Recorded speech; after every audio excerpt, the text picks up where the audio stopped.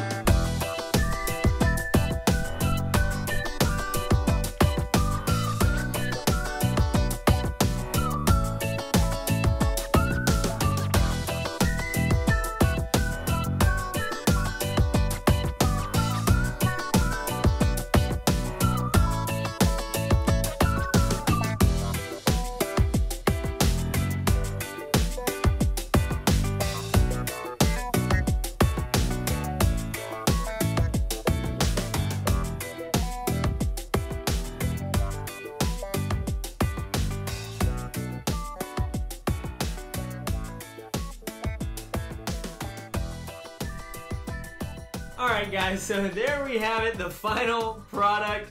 I know it looks a little sketchy uh, in some places, but it's freaking hilarious.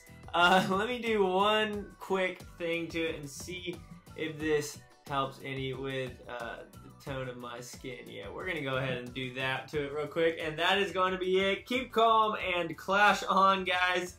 Uh, let me know if y'all want this for a download or something, and maybe I'll tweet it out. Uh, if you guys don't have Twitter, it's molt underscore COC. Find me on there. I'll tweet out the picture for you guys. I hope that y'all enjoyed this. Uh, these are a lot of fun for me. Comment down below what kind of stuff you would like to see clashed or who you would like to see clashed. Um, and we could have a really, really good time with this. So, thanks again for watching, guys. And as always, make sure you keep calm and clash on for me, right? See ya.